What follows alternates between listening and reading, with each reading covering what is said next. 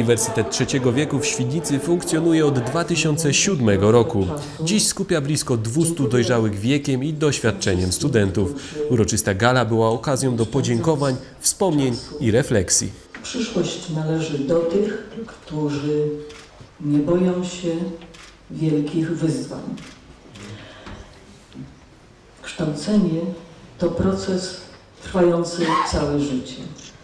To takie dwie myśli, które przewijają się w działaniach naszego stowarzyszenia od samego początku. No właśnie, od początku. Minęło zaledwie pięć lat. A zaczęło się tak zwykle, trochę po kobiecemu, żeby nie powiedzieć po babsku. Jedna pani, drugiej pani u fryzjera, w kawiarni, na rynku wymieniły zdania, poglądy, potrzeby, oczekiwania. I narodził się pomysł, a może jednak wzorem Wałbrzyskiego czy Wrocławskiego Uniwersytetu mieć taki uniwersytet u siebie. Ciepłe słowa dla prezes za zasługi, pracę i styl prowadzenia placówki nie miały końca. Są osoby, które swoją działalnością, swoją osobowością, swoim działaniem wywierają niezatarte piętno i nadają wyjątkowy charakter temu, co robią. Bez wątpienia Krysia do takich osób należy.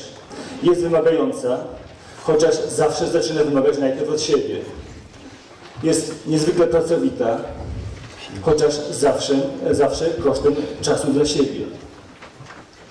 Jest twórcza, chociaż zawsze dająca pole na realizację aktywności innych.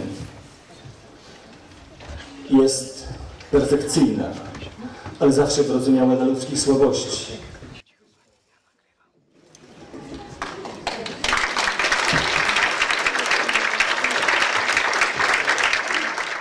Dodatkowo w czasie gali wręczono nagrody i wyróżnienia dla dzieci w konkursie plastycznym oraz tytuł przyjaciela Uniwersytetu Trzeciego Wieku.